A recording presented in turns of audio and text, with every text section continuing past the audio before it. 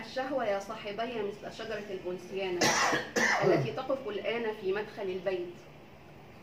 وأطئة هي ربما لكنها قادرة على فرش ظلها الدموي من الرصيف إلى الرصيف.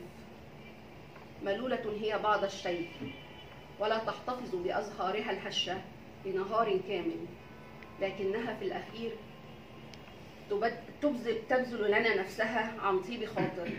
من أجل أن نجرب جميعا لذة الخطو فوق كائن حي. الشهوات عادلة. نحن ظالمون. من لندن إلى القاهرة من البيوت إلى المقاهي والسينمات والشوارع والمدارس والأحزاب والساحات من حضور النيل لحضور البنسيانة من فتاة نعرفها جميعا كفتاة الاستعراض لفتيات لا نعرف عنهن شيئا صورا تتلو صور مشهدية كثيفة.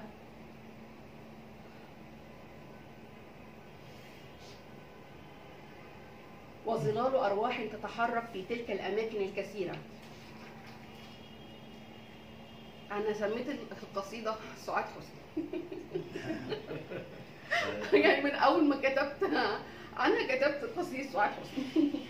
آه، سعاد حسني النعام الإسكندرية جنة المطاريد الليل. حكايات وصور.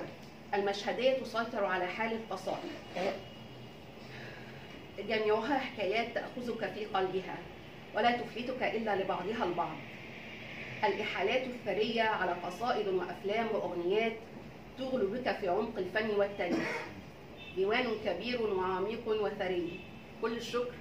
للشعب الكبير عاطف عبد العزيز على هذا